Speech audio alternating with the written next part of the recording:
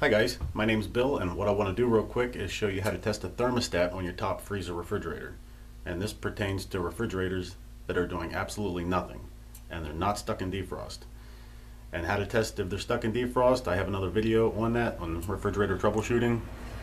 So if you're sure that the refrigerator is not stuck in defrost and that nothing's going on, the fan's not running in the freezer and the compressor's not running, you want to check the thermostat.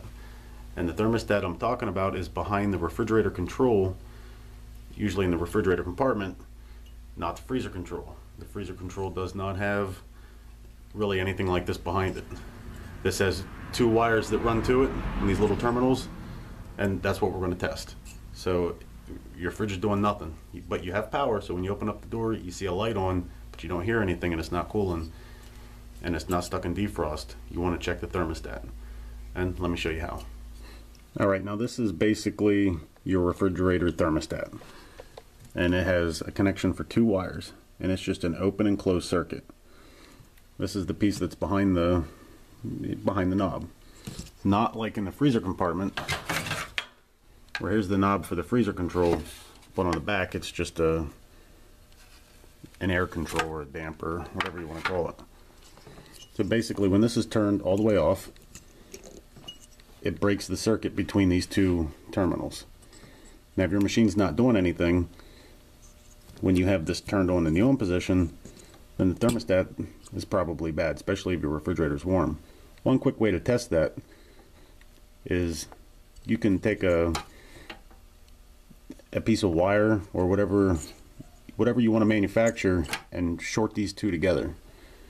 You have two wires that plug in, you want to connect those two wires together you can basically bypass the thermostat. If the refrigerator comes on, then you're 100% sure that the thermostat's bad. So that's a, or you can ohm it out and I will show you how to test the resistance on it. Alright, whenever we check the resistance on the thermostat, you want to remove the two wires that go to the terminals. And with your voltmeter set on ohms, which is that little signal symbol right there, or mine beeps whenever it's making a circuit here. So with the thermostat turned on, get some kind of reading. With it turned off, that's what you get. If you got the thermostat turned on and that's the reading you're getting, the thermostat's no good. Alright, so that's how you test the thermostat on your refrigerator. And that's just a basic check for your thermostat on a top freezer refrigerator. It's not doing anything. I had a whole bunch of comments on people, so I figured I'd clarify on exactly how to check it. So there you go. And thanks to everybody who has subscribed to my channel. I have over 3,000 subscribers, which it's pretty unbelievable. It seems like a couple months ago I had 2,000, now I have 3,000.